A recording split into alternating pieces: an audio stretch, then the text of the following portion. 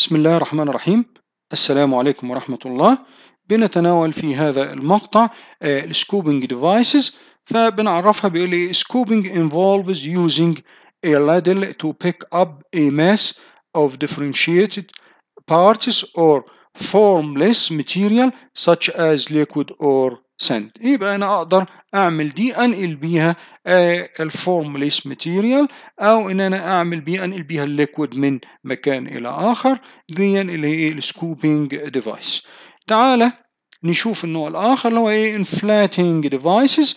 ال inflating around a part requires inflating bladder around either the inside or outside of the parts.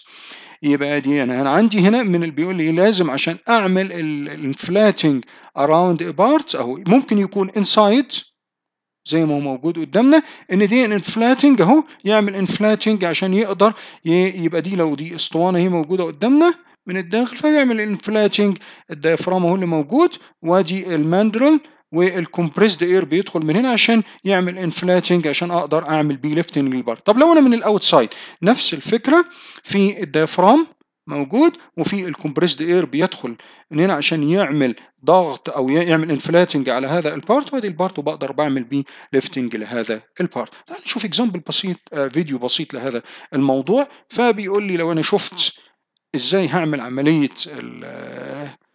ال inflating أمسك ده عبارة عن ال gripper اللي هو بيعمل عملية ال inflating بطريقة بسيطة جدا. دي material من السيليكون. فبيقول لي إن هذا الجزء أنا عايز أعمل إيه؟ inflating from outside ده بستعمله في إيه؟ شوف أهو عايز أرفع بيه أعمل lifting ل beaker like this فاعمل إيه أهو؟ شوف مسك عمل ال inflating أهو ويقدر يحمل هذا الجزء.